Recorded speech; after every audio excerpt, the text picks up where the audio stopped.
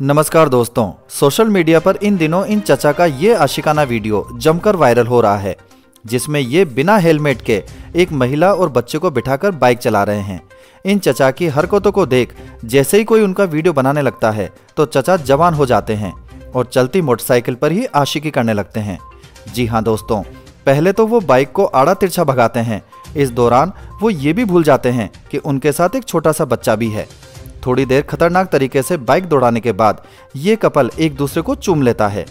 इस उम्र में ऐसी राइडिंग के साथ इस हरकत पर आपकी क्या राय है, कमेंट कर ज़रूर बताएँ।